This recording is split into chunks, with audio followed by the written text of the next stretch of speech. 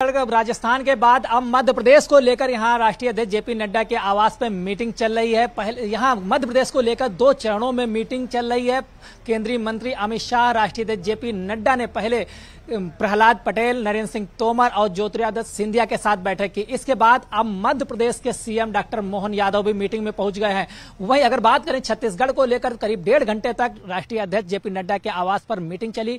चर्चा यह है कि दस नामों पर मुहर लग चुकी है, जिसमें महिलाओं को भी भागीदारी सुनिश्चित की जाएगी और नए चेहरे को भी शामिल किया जाएगा। और ये जो कैबिनेट बनेगी वो 2024 को ध्यान में रखकर बनेगी। इसमें जाति और क्षेत्रीय समीकरण को भी साधा जाएगा।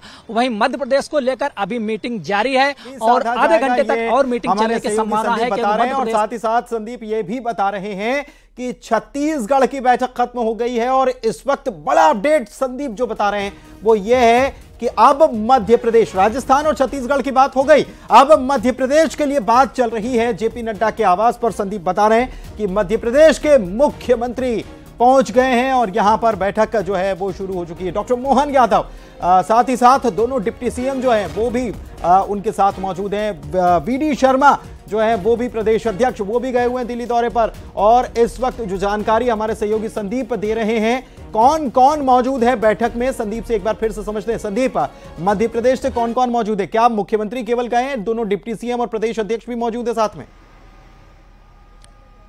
देखिए, मध्य प्रदेश को लेकर बेहद अहम मीटिंग चली, क्योंकि अभी तक राजस्थान और छत्तीसगढ़ को जो मीटिंग हुई थी, उसमें सभी लोगों की एक साथ मीटिंग हुई थी। लेकिन मध्य प्रदेश के जो सीनियर लीडर हैं और जो पहले केंद्रीय टीम का हिस्सा रह चुके हैं, चाहे वो राष्ट्रीय पदाधिकारी रह चुके हैं, खासकर कैलाश विजय विजयवर्गीय हैं, प्रहलाद पटेल हैं और नरेंद्र सिंह तोमर इनके साथ एक अलग से पहले मीटिंग की गई, क्योंकि राष्ट्रीय अध्यक्ष जेपी नड्डा के आवास पर सबसे पहले मध्य प्रदेश के यही तीनों नेता पहुँचे और इसके करीब 40 मिनट बाद सीएम पहुँचे हैं। यहाँ पर ज़ाहिर है कि दो चरणों में मीटिंग चल रही है और मंत्रिमंडल को लेकर मंथन किया जा रहा है। और कुछ ही देर में इसको स्पष्ट भी कर दिया जाएगा क्योंकि मध्य प्रदेश के जो भी डिप्टी सीएम है वो भी यहाँ पे आ चुके हैं और सीएम आ चुके हैं। अब मंत्रिमंडल को लेकर विस्तार से मीटिंग चल रही है। ठीक है चलिए बहुत शुक्रिया बहुत शुक्रिया आपका इस जानकारी के लिए। तो विस्तार से मीटिंग चल रही है। मध्य प्रदेश को लेकर छत्तीसगढ़ को लेकर मीटिंग हो चुकी है। बढ़ते हैं आगे और बड़ी खबर की बात करेंगे। दिल्ली दिल्ली से बड़ी खबर केंद्रीय स्वास्थ्य मंत्री से सीएम ने मुलाकात की है। मनसुख मंडाविया से विष्णुदेव साय ने मुलाकात की है। दोनों डिप्टी सीएम भी उनके साथ मौजूद रहे हैं। ये दिल्ली से बड़ी खबर आपको बता रहे हैं। और चुनाव में भी केंद्रीय स्वास्थ्य मंत्री जो हैं, वो लगे हुए थे और बीजेपी की तरफ़ से पूरी कोशिश, पूरा ज़ोर उनके द्वारा भी लगाया गया। और ऐसे में जब चुनाव जीत लिया गया, मुख्यमंत्री पद की शपथ ले ली गई। अब धन्यवाद और सौजन्य मुलाकातों का सिलसिला जो है, वो दिल्ली में, राजधानी में ज़ाहिर सी तो बात है कि चलना है और ऐसे में जब मंत्रिमंडल कैसा होगा, उसको लेकर भी चर्चा हो रही है और उसको लेकर भी मीटिंग हो रही है तो बाकी केंद्रीय नेतृत्व से भी मुलाकात करने का सिलसिला जो है, पूरी टीम छत्तीसगढ़ की इस वक्त मुख्यमंत्री की अगुवाई में पहुँची हुई है। अलग अलग नेताओं से मुलाकात का दौर चल रहा है।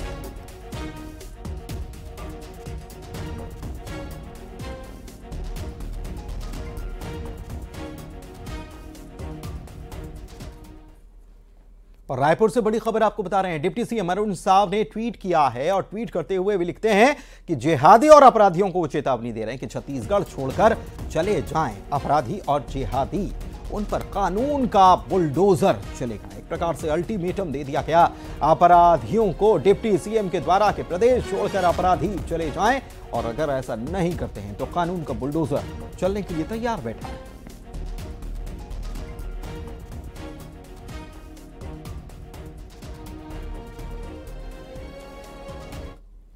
चलिए बात अगले खबर की करते हैं और बेहद अहम खबर है, ये अंबिकापुर से खबर है, यहाँ पर 10 पहाड़ी कुरवा मजदूर जो हैं, दिल्ली में बंधक बना लिए गए हैं। और ये हम नहीं कह रहे हैं, बल्कि ये खुद पहाड़ी कुरवा मजदूर कह भी रहे हैं और गुहार भी लगा रहे हैं कि हमको यहाँ से आज़ाद कराओ।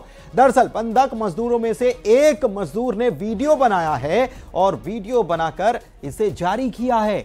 सरकार से उन्होंने मांग की है कि उन्हें घर वापसी कराई जाए। उनको यहाँ से जो बंधक बना लिया गया है, उनको यहाँ से आज़ाद कराया जाए। दरअसल, ज़्यादा मजदूरी का झांसा देकर इन मजदूरों को यहाँ से ले जाया गया था। मैन पार्ट वापस लौटना चाहता है मजदूर और वहाँ से आने नहीं दिया जा रहा। मजदूरी की, मजदूरी जब मांगी जाती तो मजदूरी तक नहीं दी जाती, आने भी नहीं दिया जा रहा। ऐसे में प्रशासन से गुहार लगाई है शासन से गुहार लगाई है हालाँकि इस मामले में अभी तक खबर ये जो मिली है उसके मुताबिक इस पर अभी तक संज्ञान प्रशासन शासन के द्वारा लिया नहीं गया है। घर वाले परेशान हैं।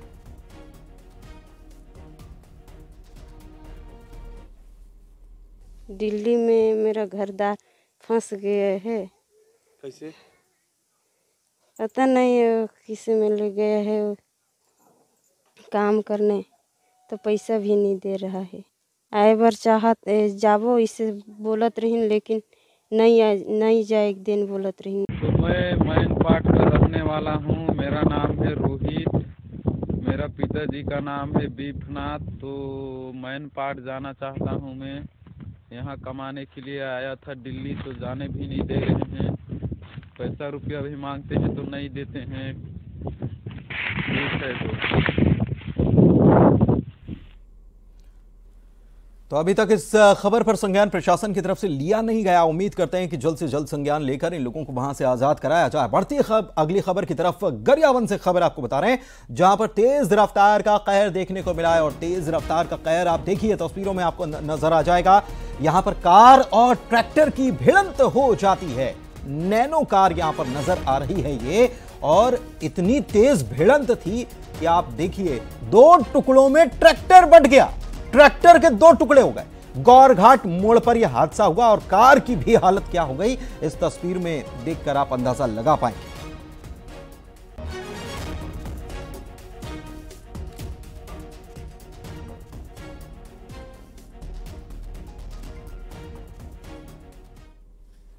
रायगढ़ में भी तेज रफ्तार का कहर ही दिखाई दिया, जहाँ पर बाइक पेड़ से टकरा गई और इस बाइक पर दो लोग सवार होकर जा रहे थे। दोनों बाइक सवार जो हैं, पेड़ से टकराने के बाद इन दोनों की मौत हो गई। लेलुंगा थाना क्षेत्र के दुर्गापुर गाँव की यह घटना बताई जा रही। बड़ा दर्दनाक हादसा यहाँ पर पेश आया।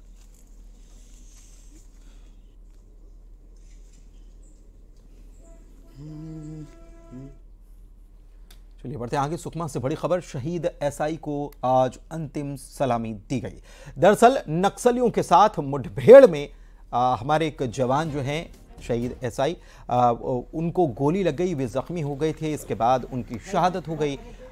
इसके बाद आज उन्हें अंतिम विदाई दी गई है। साथ ही जवानों ने उन्हें श्रद्धांजलि दी। वस्त्र राय जी सुंदराजपी भी इस दौरान मौजूद रहे।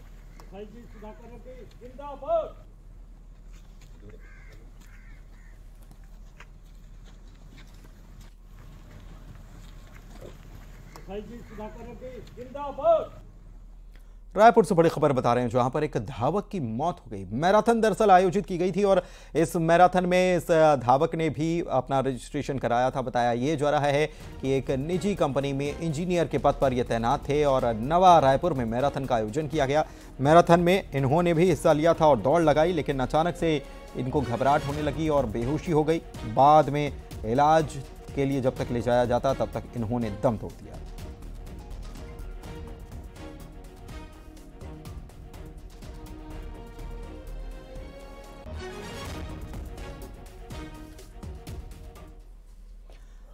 रायपुर से खबर आपको बता रहे हैं, जहाँ पर आरोपियों का पुलिस ने जुलूस निकालने का काम किया है और 18 आरोपी जिनको गिरफ़्तार किया गया था। अलग अलग मामलों के ये आरोपी बताए जाते हैं। पुलिस ने इनका जुलूस निकाला है। कई मामलों में इन लोगों की गिरफ्तारी की गई है। अलग अलग मामलों को लेकर पुलिस ने कार्रवाई की थी और इनको गिरफ़्तार किया। अब इनका जुलूस निकालने का काम भी पुलिस के द्वारा किया गया।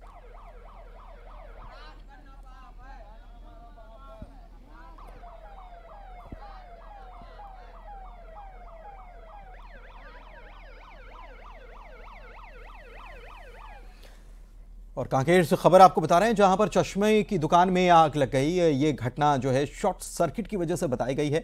और जैसे ही घटना की जानकारी लोगों को लगी, लोगों ने तुरंत इतला की। फायर ब्रिगेड को फायर ब्रिगेड भी मौके पर पहुँची और जब देखा गया तो देखिए कितनी भीषण ये आग थी। इस तस्वीर को देखकर आप अंदाज़ा लगा पाएँगे। काफ़ी मशक्क़त फायर कर्मियों को यहाँ पर करनी पड़ी और आग को काबू में तो कर लिया गया, लेकिन जब तक आग आग को काबू में किया गया, तब तक काफ़ी नुकसान हो गया। बताया जा रहा है कि लाखों रुपए का नुकसान इस आग लगने की घटना में हुआ। है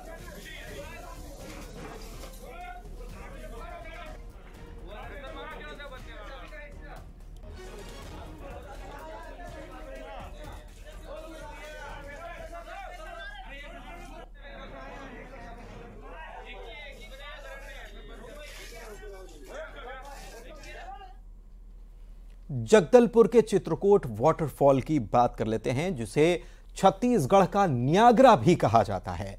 लेकिन अब इस चित्रकूट वाटरफॉल पर जो पर्यटक जाने की इच्छा रखते थे, अब उसके पास तक तो पर्यटक जा नहीं पाएँगे।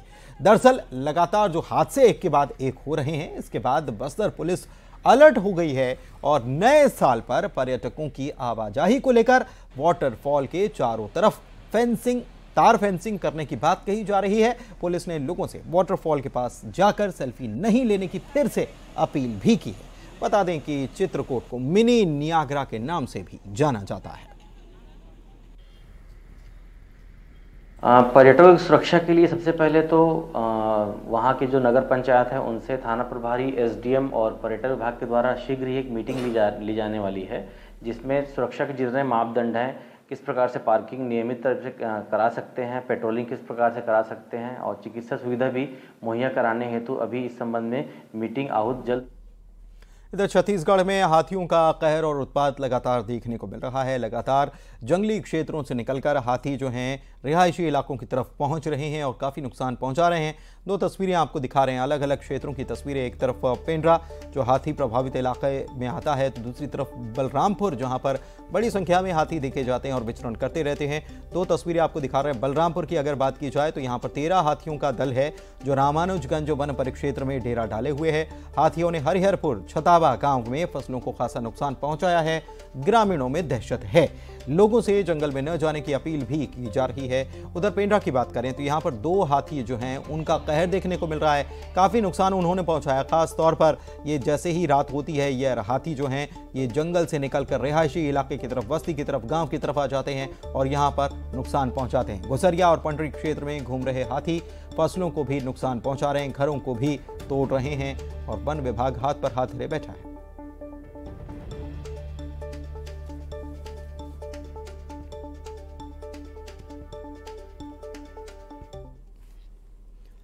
चलिए बढ़ते हैं। आगे बात अगली खबर की। धमतरी नगर निगम टैक्स वसूली के मामले में फिर से फिसड्डी साबित हो गया है। दरअसल, नगर निगम को सात सौ पंचानवे करोड़ रुपए की टैक्स वसूली करनी है। यानी करीब यह आंकड़ा सात सौ पंचानवे ने करीब आठ सौ करोड़ के आसपास हो जाता है। लेकिन देखिए, काम की गति कितनी धीमी है और कितना ढीला रवैया है कि केवल और केवल तीन सौ उनचास करोड़ रुपए की वसूली ही हो पाई है। अब विकास के काम कैसे होंगे? क्योंकि वसूली नहीं हो पा रही है। टैक्स वसूला जाना चाहिए और ये नहीं हो पा रहा है। और इसकी वजह नगर निगम का खराब प्रबंधन, लचर और ढीला रवैया इसके पीछे कारण है। आम लोग भी टैक्स जमा करने में कोई रुचि नहीं दिखा रहे हैं। इसी की वजह से टैक्स वसूली आधी से भी कम हो पाई है अभी तक।